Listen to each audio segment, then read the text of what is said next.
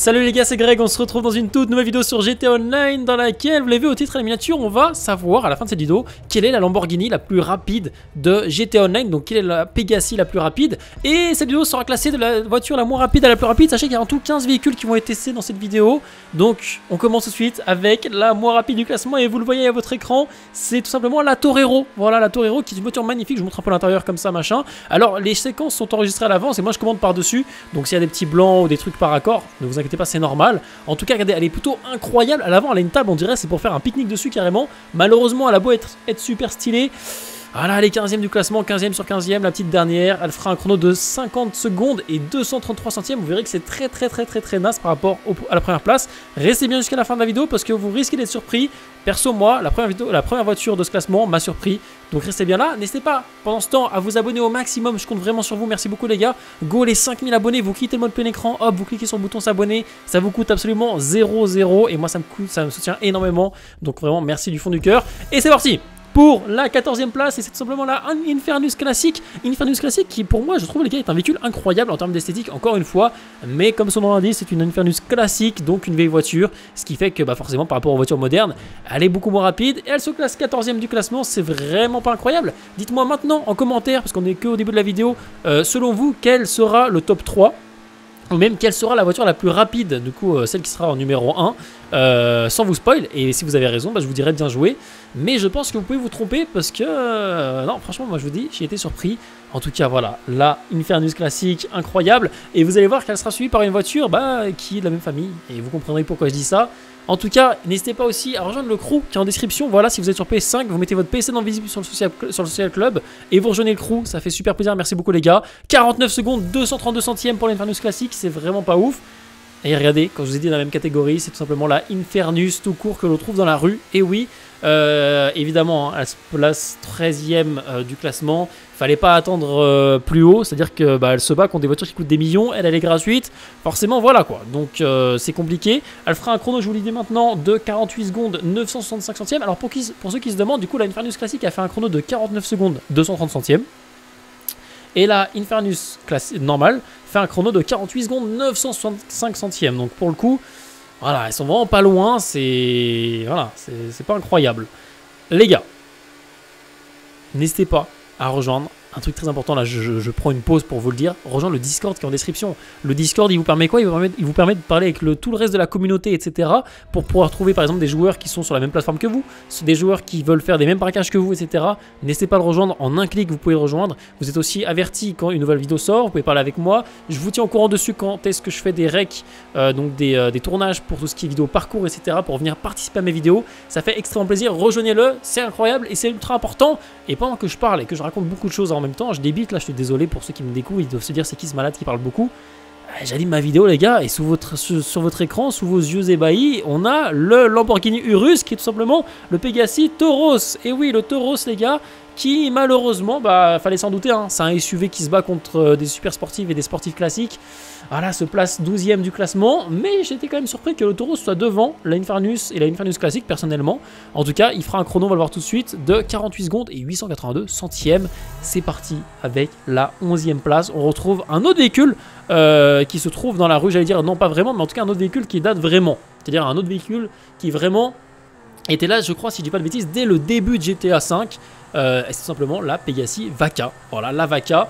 Euh, qui se classe, euh, comme je l'ai dit, hein, les gars, 11e du classement. C'est vraiment pas incroyable. Sachant que je peux vous dire un peu les prix que coûtent ces véhicules. La Vaca, t'en as à peu près pour 600 000 dollars pour l'acheter plus la custom au max.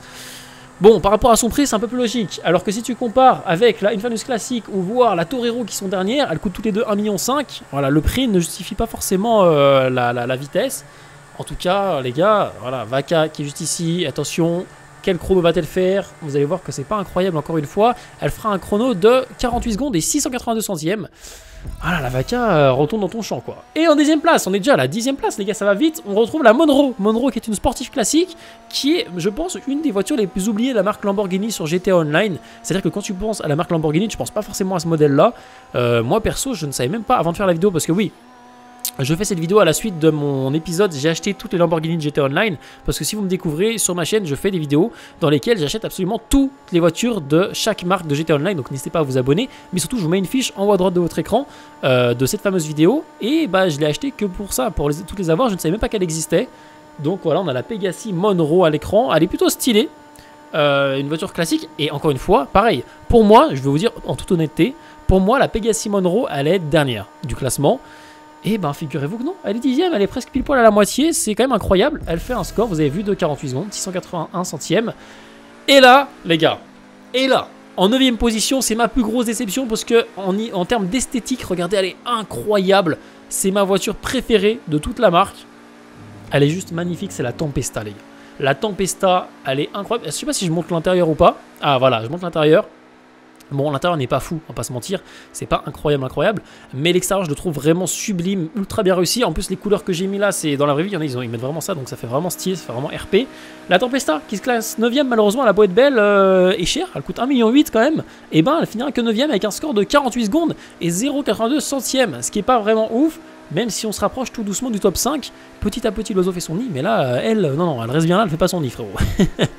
c'est parti Ensuite, en 7ème, non, 8ème position, on a la Reaper. Et oui, la Reaper qui elle aussi est une des plus vieilles euh, Lamborghini GTA 5, je crois, si je dis pas de bêtises, en tout cas de GTA 5 Online. Parce que sur GTA 5 tout court, elle n'y est pas. Euh, elle est plutôt stylée, moi je l'ai mis en toute black comme ça, en mode Batmobile. L'intérieur aussi est incroyable. Alors le volant par contre, hein, on va en parler. Le volant pour une voiture qui coûte euh, plus de 2 millions. Voilà, hein, c'est-à-dire que je retrouve le même volant dans ma Tampa Drift à 80 000. C'est quoi ce, ce Delbor Non, plus sérieusement, voilà. Hein, classe 8ème du classement. Pas incroyable, pas décevant, voilà. Hein. Je, suis assez euh, mitigé là-dessus. C'est une voiture à avoir dans sa collection, pas forcément à avoir pour faire des courses. Parce que clairement, de toute façon, qu'on se le dise, ce genre de véhicules, c'est clairement des véhicules que tu utilises absolument jamais. Une fois que tu les as achetés et customisés, bah, elles sont là, elles prennent la poussière dans ton garage et voilà quoi. Et vous allez voir qu'elle fait un score de 47 secondes, 563 centièmes. En parlant de véhicules par contre que tu utilises jamais dans les courses, là, on peut pas, ça s'applique pas à cette voiture. Ça s'applique pas à cette voiture. Pourquoi? Parce que là, on parle de la Pegasi Osiris, les gars. Osiris, alias une des voitures les plus utilisées pour faire des courses sur GTA Online. Elle est magnifique. Et encore une fois, je le répète, mais une des premières, voire la première Pegasi sur le jeu. Incroyable avec la Zentorno qui suivra juste après, vous le verrez. Euh, elle se classe 7ème. Et oui les gars, la Osiris se classe 7ème. Donc même si c'est une vieille voiture, franchement, elle se bat encore bien. Elle est toujours dans la place, elle est là en mode frérot, je suis pas premier parce que voilà, on m'a dépassé depuis. Mais je suis pas dernier non plus, je suis toujours là. Euh, et elle fera un score, je vous le dis dès maintenant, de 47 secondes 465 centièmes, ce qui est déjà beaucoup mieux, je le rappelle, la 15e place c'était 50 secondes 233 centièmes. Donc quand même, on joue... Euh, là, vous allez voir que dans cette vidéo, chaque seconde sont importantes. Et j'en parlais juste avant, la Pegasus Zentorno qui du coup, elle se classe tout simplement 6ème du classement à une place du top 5. Hein. Franchement, elle aurait pu euh, pu s'y glisser, malheureusement non. La prochaine fois peut-être. Bah non, en fait, euh, Greg, non, non, Zentorno ira toujours à la même vitesse. Elle fera un score, elle, de 47 secondes. 430 centièmes, donc il n'y a que 30 centièmes, 30 000, enfin, je sais pas comment dire, 0,30 centièmes de seconde entre la Osiris et la Zentorno. Donc en fonction des tests, ça peut varier, je pense, en fait, hein, tout simplement. Mais bon, voilà, tout ce qu'il faut retenir, c'est qu'elles sont pas dans le top 5, toutes les deux. Euh, sixième, voilà, alors qu'elles coûtent un peu moins cher que la Osiris. Comme quoi, c'est pas le prix qui justifie euh, la vitesse, et vice-versa, c'est pas la vitesse qui justifie le prix. En tout cas, je la trouve magnifique. Elle est juste incroyable, ma custom et tout. Encore une fois, je mets la fiche en haut à droite. Euh, comment j'ai eu cette custom? Ben oui, c'est une custom secrète qui est sortie 10 ans après sur le jeu. Et ça, seuls les vrais joueurs de, GTA le savent. Attention On rentre dans le top 5 et c'est tout simplement la Zorusso. La Zorusso, qui on a l'impression qu'elle est sponsor par KFC, frérot. Il y a un énorme poulet sur ma carrosserie, je sais pas ce que c'est ce, bordel. Et regardez l'arrière, on voit carrément les pots d'échappement avec les filtres et tout. C'est, Elle est spéciale, il n'y a rien à dire, elle est spéciale. Elle fait un joli bruit par contre.